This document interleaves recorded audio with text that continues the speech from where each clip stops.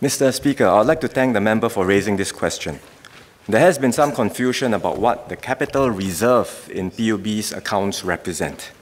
Uh, Mr. Pritam Singh referred to it in his speech during the debate on the President's address, and I note that the Workers' Party subsequently posted a video clip on its Facebook page questioning why the water price increases were necessary when the PUB's capital reserve has increased from $3 billion to $5.3 billion over the last decade.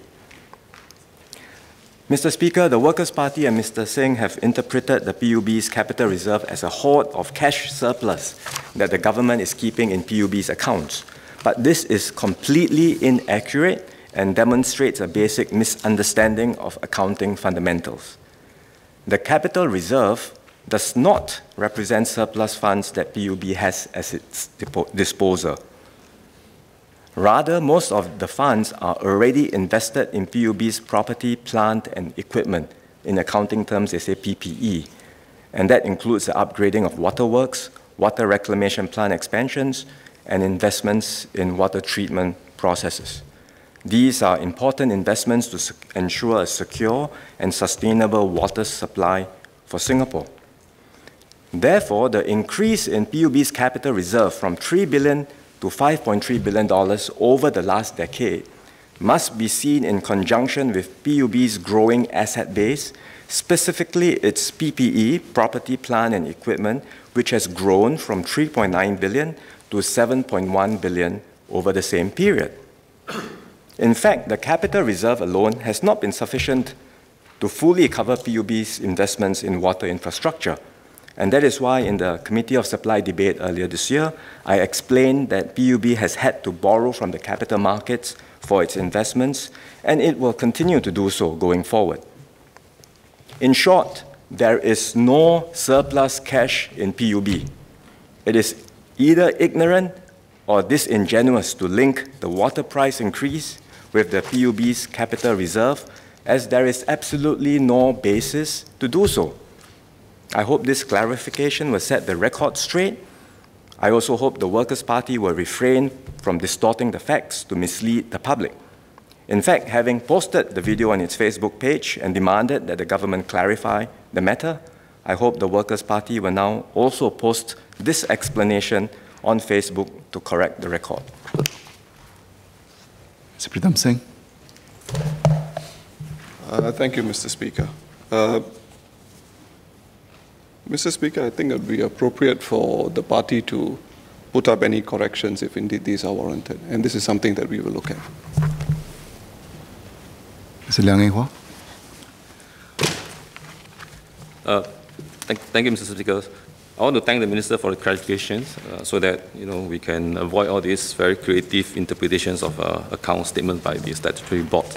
I just want to follow up your question, Minister, about you know, um, given the, the rising demand of water, water uh, the rising, rising demand for water uh, in, in the coming years, uh, what are the upcoming major investments in the water supply infrastructure, infrastructure in the next uh, one decade? And what amount of uh, capital expenditure is the government is the government envisaging, and where are we going to fund them? is this going to be from the PUB's balance sheet or from the government's injections?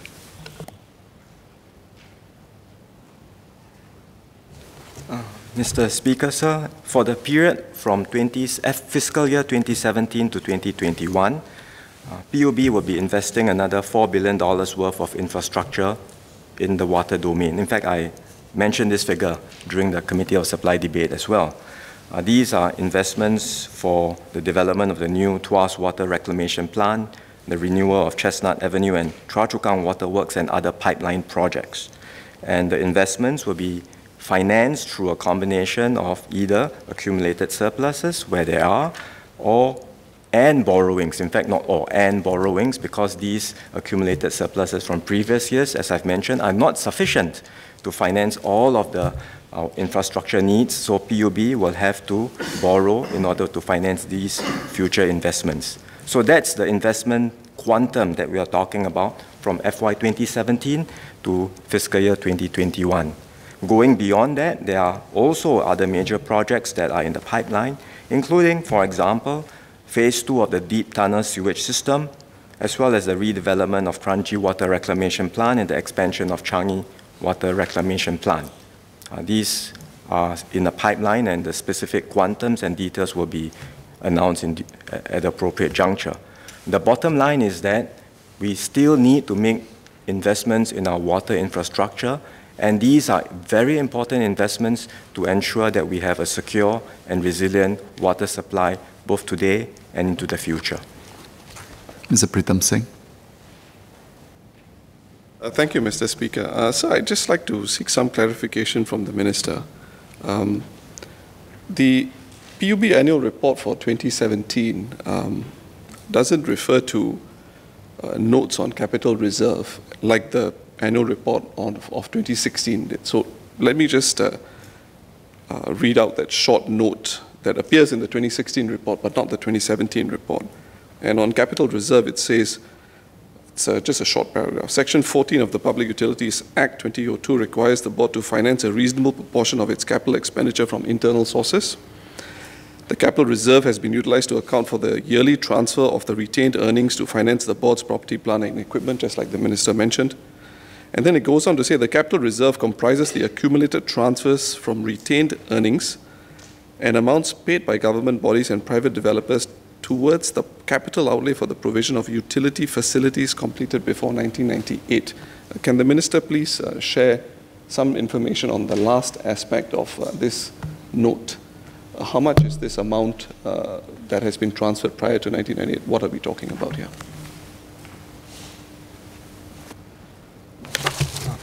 Mr. Speaker, sir, I think if you were to look at the figures, uh, specifically if you were to look at the capital reserves in PUB's books, indeed they have grown from $3 billion to $5.3 billion over the years. And as the footnote explains, these are accumulated surpluses over the years uh, that PUB has um, been able to earn. But none of these surpluses are left in cash. In fact, over that same period of time, a large part of that accumulated surpluses have been used to invest in water infrastructure, and that's why the plant, property, and equipment has grown correspondingly from $3.9 billion to $7.1 billion. That's the essence of what I'm trying to say. The word reserves is misleading. We think of reserves as cash. But capital reserve happens to be an accounting term. It means that the funds were used to invest in PPE, in plant property and equipment. And there are some technicalities about the specific assets, the date of the assets, but those are technical points because the main thrust of what I'm trying to say is that there is no surplus cash lying around in PUB's books for PUB's disposal. All of it is being invested in water infrastructure already and we will need more of that for our future water supply as well. Mr. Low Thia Khiang. I would like to seek a clarification from the Minister on the government's position on such so-called PUB investment, infra- infrastructure. Should all these investment be solely bear by Singaporean consumers through uh, water price hike? Or should the government also uh, provide grants and uh, provide some capital grants, for instance, for the investment. Thereby will lighten the consumer's burden.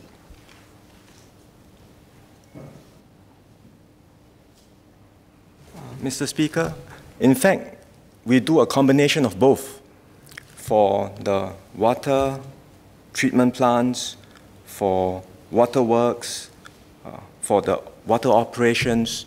Indeed, PUB charges consumers, rightfully so, and then recovers the cost uh, in order to continue to finance future investments. But there is another part of infrastructure which is not charged directly to consumers, and that's our drainage systems, our sewage systems, which are an essential part of our water system. And that PUB continues to receive government grants in order to finance that part of the water system. So when you look at the water system today, there is a component which is charged out to consumers PUB recovers the cost, the revenues, and then uses that to finance its part of the water system. But there is also a significant part of the water system which is already financed through, by the government through the taxpayers. Mr. Low, I would like to ask the minister, what is the waterborne fee for that you charge? I thought it's for infrastructure. It was increased significantly, I think, a few years ago, if I remember correctly. Mr. Speaker, as uh, the water operations is charged out through water tariffs, through waterborne fee, and so that indeed covers the operating cost of the operating the water system. But there are significant amounts of drainage assets and sewage assets uh, as part of our water system, which the government continues to fund through grants to PUB. And in fact, these details are in PUB's accounts. You can see very clearly what is the amount that is charged out to consumers and is uh, taken in as revenue on PUB's books and the amount that is taken as grants from the government.